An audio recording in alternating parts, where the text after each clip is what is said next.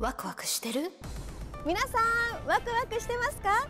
この番組は清松総合鉄工株式会社が手掛けた建物を訪ねその建物やオーナー様の魅力をお届けする番組です。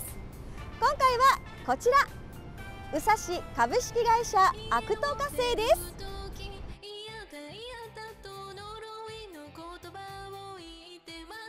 花岡さんよろしくお願いします。よろしくお願いいたします。はじめにアクト化成とはどういった事業に取り組んでいるんでしょうか？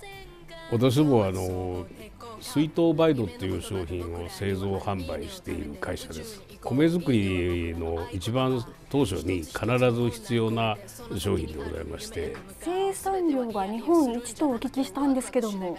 はい。全国で10万トン弱作ってあの販売しておりますのでシェアとしましては日本で最大の、まあ、生産グループだと思っております。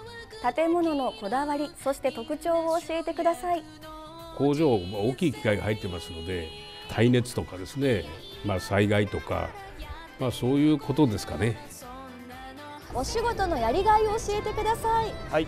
お客様に喜んでいただける製品を生産できることにやりがいを感じております今後の悪党化成の目標を教えてください。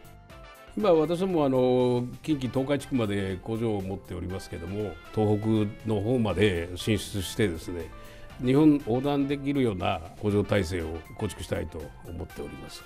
全国展開楽しみにしています。ありがとうございました。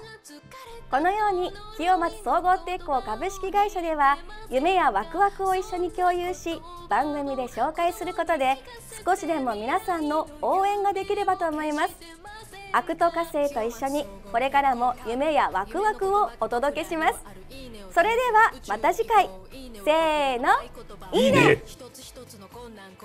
清松総合鉄工株式会社がお送りしました。